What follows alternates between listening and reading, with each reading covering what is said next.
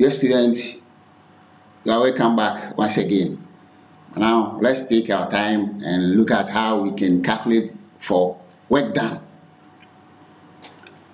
From the relationship, work done equals force times distance, or W equals F times S. We are going to see how we can use that relationship to calculate for work done when other variables are given.